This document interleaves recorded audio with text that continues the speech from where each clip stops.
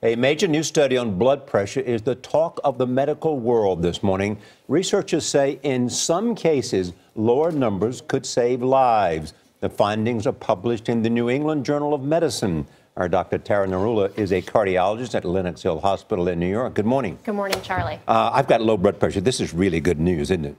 this is excellent news.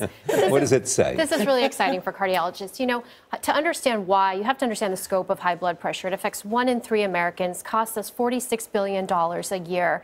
And essentially, at this point, only 50% of Americans who have high blood pressure have it under control based on the recommended guidelines. Right now, the recommendations are for most Americans to keep their systolic blood pressure, the top number, under 140, unless you're over 60, in which case it can be under 150. But what we really haven't known is how low should we go? Should we push the blood pressure down further to reduce events?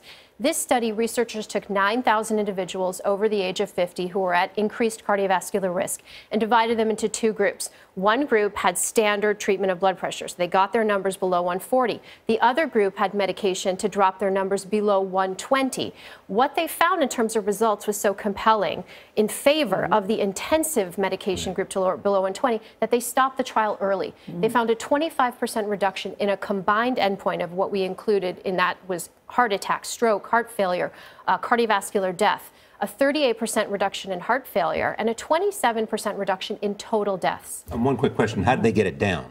So they used medication, and to get it down to less than 120, they usually had to use about three medications, as opposed to the standard group, which they had to use two medications. So, do the guidelines apply to everybody? That's really the important question people want to know. Waking up this morning, do I have yeah. to call my doctor? And so the important thing is, do I have to call my doctor? yes, Hello, Gail, doctor. yes. yeah. No, not everybody. This is not an emergency. Gail here. yes, that's right. Not everybody has to rush to their doctor. Mm -hmm. This applies to some Americans, not all. So it's practice changing for some.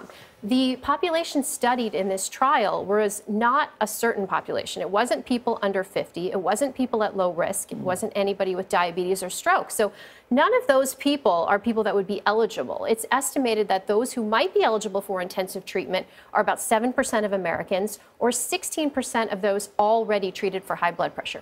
The best part of this study is that it opens the dialogue so that people can call their doctor and say, Do I eh, qualify? Am I eligible? Yeah. Should I push it down? What are the risks? Well, I think bottom line, and correct me if I'm wrong though, if you are a healthy individual mm -hmm. and your blood pressure is about 135, 138, what you might look at this and say, it's worth it getting my blood pressure lower.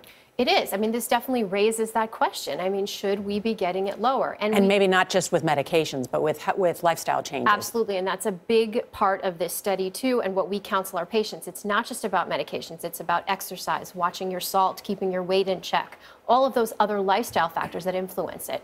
But importantly, also in this study, you know, there's no free lunch. So there were side effects. Uh, there was an increased risk of kidney failure, increased risk of fainting, low blood pressure, um, and some changes in, in the blood chemistry. So you have mm-hmm. to have the discussion with your doctor. All right. Thank you, Dr. Turner. Always good to see you.